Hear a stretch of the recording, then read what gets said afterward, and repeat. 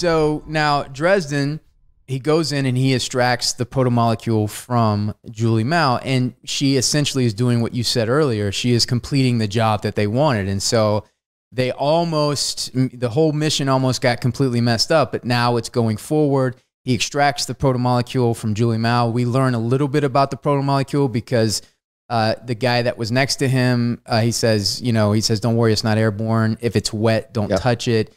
We start to Yep. get a little bit of the rules of how do you get infected by this, and but then, you know, I mean, we could talk to Dresden a little bit about a bedside manner because then he calls uh, Yeah. Jules Pierre Mao.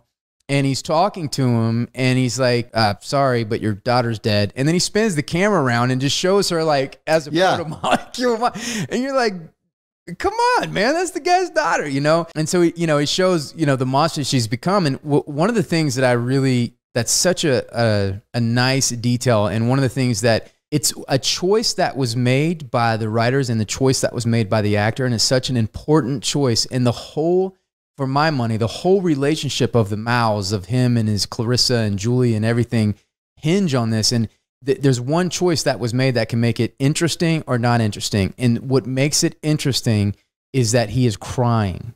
Yeah. And you see that he loves her and that he Yep. loves his daughters.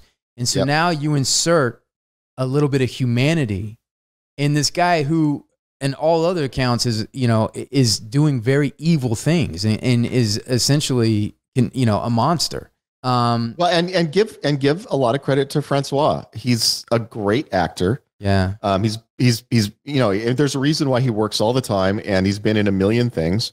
Uh, he's a fantastic performer, and in that moment, he really sells that. He sells that he loves her, that he's devastated by her death, and that he's not going to let it stop him.